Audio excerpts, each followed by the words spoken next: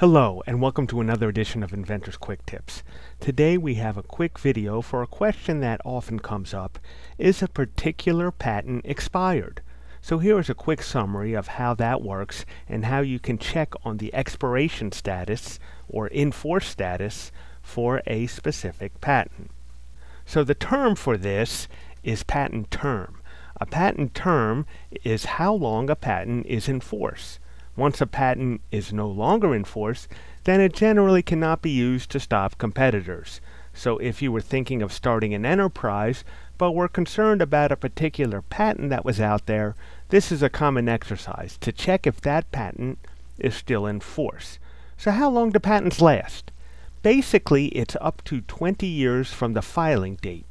But we are going to put an asterisk there because in certain cases, it can go a little bit beyond the 20 years, and we'll get into that in a few minutes.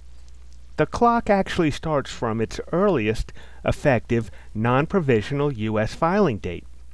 So if the patent claims priority to a provisional application or a foreign patent application, we don't count that when it comes to starting the clock.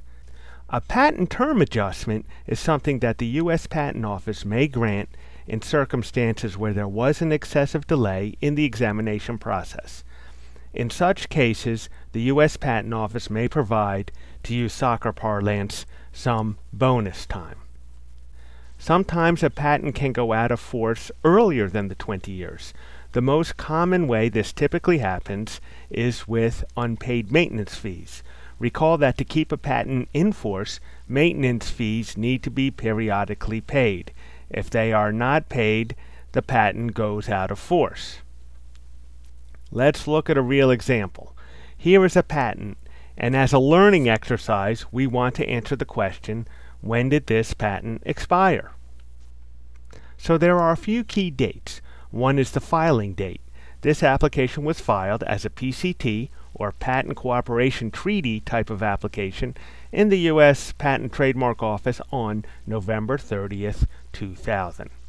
This patent claimed priority to a foreign application from November 30th, 1999. Another important thing to check is the patent term extension. Not every patent has one, but this one happens to. In particular, as indicated, it is 270 days. So recall, we don't start the clock from a provisional patent application or a foreign patent application, so we're not going to use the date from the orange arrow. We start counting 20 years from the date here by the blue arrow, which is the first U.S. Uh, patent application filing date. So we're going to count 20 years from there, from November 30th, 2000. We know that a patent can last up to 20 years, so it could, could have expired on November 30th, 2000. First, we want to check if maintenance fees were paid. If they weren't, this patent will go out of force earlier than 20 years. I have a video on maintenance fees if you want more information on that, and I will put a link to that video in the description. Here we check the maintenance fees for this patent on the U.S. Patent Office website, and we see that they are all paid up so the patent should be in force for the maximum possible term. If these fees weren't paid, then the patent would no longer be in force once the deadline to pay one of these fees had ran out. So now we know this patent should be in force for its full 20-year term, but now we need to apply the extension, which is 270 days. The best way to compute this is to go to a date calculator, of which there are numerous available online. Here's the one I used, and I used the 20 year anniversary date, which was November 30th, 2020, and added 270 days, which brings us to August 27th, 2021, which is the date that the patent expired. Another way to find this information quickly is with Google Patents. Here is the patent as shown in Google Patents, and here is our adjusted expiration date. Again, it's August 27, 2021. So this is the easy way, but if you want to cross-check the results, now you know how they arrived at that date.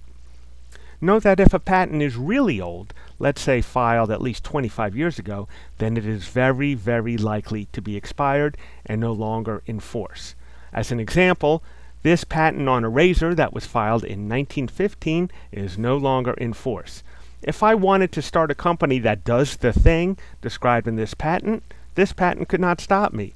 Of course, it could not stop anyone else either, so this patent would not do anything to stop competitors from making, using, or selling this razor either. One final note, the U.S. Patent Office does provide a patent term calculator.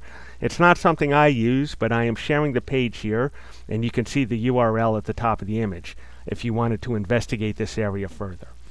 Note that what we covered here shows the basic principles for how to determine if a U.S. patent is in force. However, they are not intended to cover a specific circumstance or situation. So if you need this analysis done for one or more patents and are unsure, then it's worth considering hiring a professional to help you with this analysis. So hopefully you found this video helpful. If so, please like, share, and subscribe, and thanks again for watching.